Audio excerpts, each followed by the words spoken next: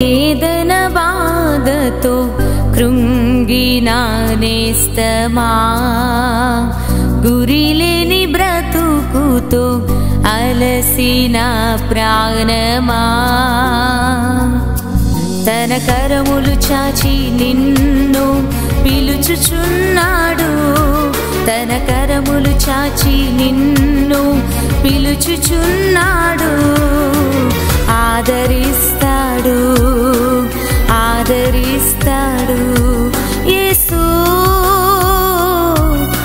ఆశ్చర్యకరుడు యేసు.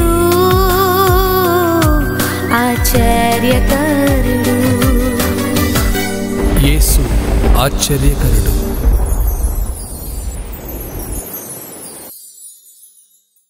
Praise the lord. యేసు ఆశ్చర్యకరుడు. అనుదిన వాగ్దానం. యోహాన్ సువార్త పద్నాలుగో అధ్యాయము పంతొమ్మిదో వచనాన్ని చదువుతున్నాను. అయితే మీరు నన్ను చూతురు నేను జీవించుచున్నాను గనుక మీరును జీవింతురు. దేవునికి మహిమ కలుగును గాక. దేవుని బిడ్డారా మనం ఆరాధిస్తున్న దేవుడు జీవాధిపతి జీవము కలిగిన వాడు. ఆయన దేవుని బిడ్డారా ఆయన ఆది నుండి జీవిస్తున్నవాడు. అంతం వరకు ఆయన ఉన్నవాడు.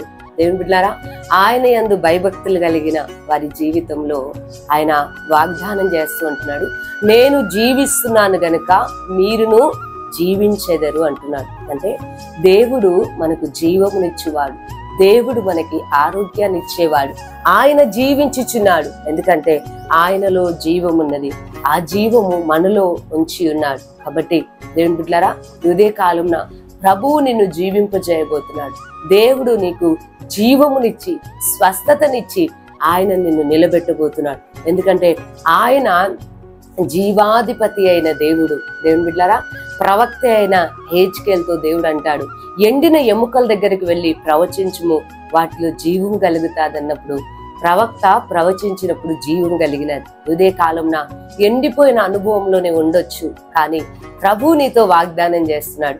ఆయన జీవించుచున్న దేవుడు గనక ఆయన బిడ్డవైన నీకు కూడా దేవుడు జీవాన్నిచ్చి స్వస్థతనిచ్చి ప్రభు నేను నిలబెట్టబోతున్నాడు. కాబట్టి వాగ్దానం నమ్మి ప్రభుని స్థుతించండి. డాక్టర్స్ రిపోర్ట్స్ ద్వారా మీ శరీరంలో ఉన్న బలహీనత వైపు మీరు చూడొద్దు.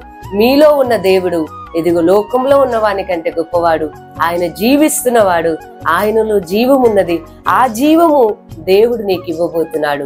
దీర్ఘ ఆయువుతో ప్రభువు నేను నింపి నడిపించబోతున్నాడు. కాబట్టి ఈ మాటను నమ్మి ప్రభుని స్థుతించండి. చిన్న ప్రార్థన చేసుకుందాం సర్వశక్తి గల దేవా నీకు వందనాలు. ఎంతమంది బిడ్డలు హాస్పిటల్స్తో ఉన్నారు అయ్యా ఎదుగు బెడ్ పైన ఉన్నారు.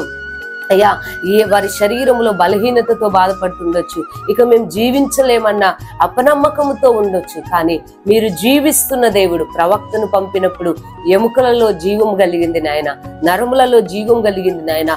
ఇదే కాలంలో ఎంతమంది బిడ్డలు ఈ మాటను నమ్ముతున్నారు? వారి శరీరంలో వారి ఎముకల్లో వారి నలాల్లో అయ్యా జీవము కలుగును గాక. నిర్జీవమైనది తొలగిపోవును గాక నాయన. జీవాన్నిచ్చి మీరు స్వస్థపరిచి మహిం పొందమని ఏసు నామంలో ప్రార్థిస్తున్నాను తండ్రి. ఆమెన్. దేవుడు మిమ్మల్ని దీవించునుగాక.